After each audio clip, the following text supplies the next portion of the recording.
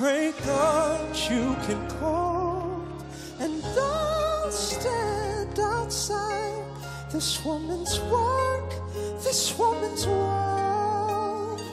Ooh, it's hard on a man, cause now his part is over. And now starts the craft of the Father.